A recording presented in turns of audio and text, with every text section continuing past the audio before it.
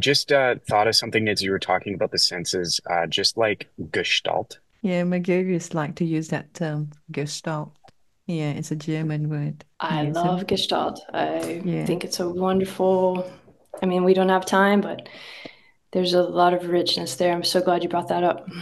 Well, you can go for it, you know. Well, I can go for one more Bergson announcement.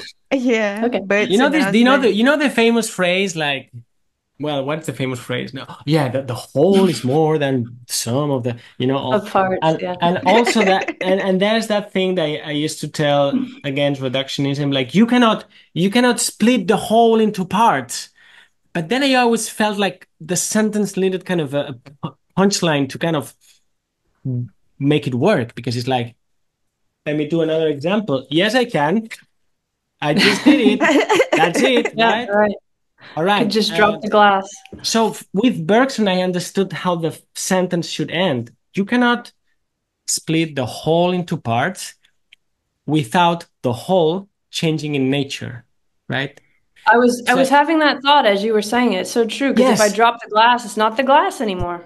exactly. It's So parts. yes, you can you can vivisect a dog like Claude Bernard would do. You can study life by killing it. You can, but it's not life anymore, right? You can Yeah, study the mind by doing this. You can take a football and split it into, but it's not a football anymore. And well, that's what came to mind with the word gestalt because there's the whole, and then we don't want to, um, yeah, break it into parts, but and yet we do, and maybe we need to. There's another quote from Bergson that says, and and and yet you must learn to sew it back, or something like this, because we end up having to cut things. I, at some point, we need to cut the recording of these, or at some point, we need to move on to the next thing. I cut onion to cook, and maybe it's kind of the sewing back of our of our ideas, like this patchwork. We we are we are told how to be great cutters as scientists and experimentalists in particular. But then nobody needs knows how to stitch things back together. And then comes, you mentioned a moment ago, Evie, Iain McGilchrist. So he's the ultimate stitcher, you know, it's like and then and then you can see the whole thing, the whole thing together. It's kind of an operation on the whole. I always think of life almost that, you know, we're always trying to define what is life and in cognition, you know, what's when is a machine going to be conscious and all of this. And you almost can define it by if you can take it into parts and if it really is mechanical and you can put it back together, it's probably not alive, right?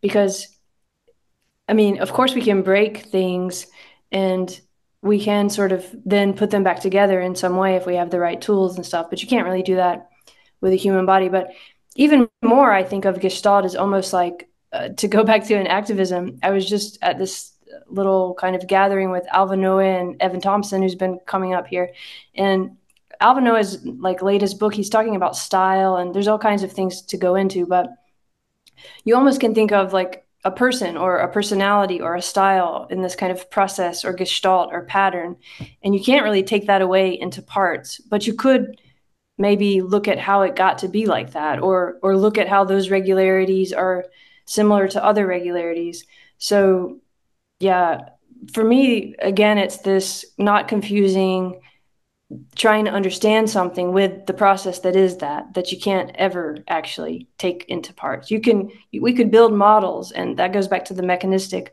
and all of these kinds of things but that isn't the process and we confuse that so often in science and everyday life now as you know we were talking about with the universities and the way they're run now um Totally.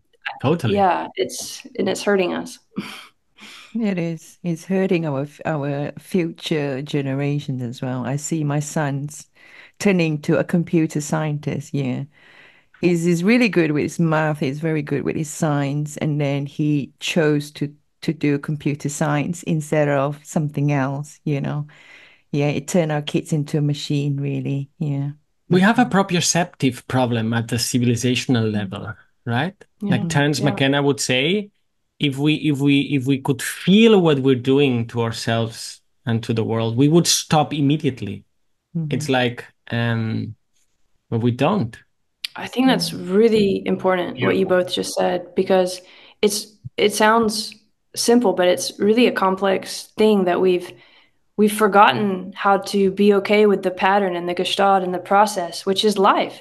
And instead, we were so used to this mechanic thing, whether it's the university or whether it's what we're going to study or whether it's just how we sit alone in a room. We now need that mechanistic feeling.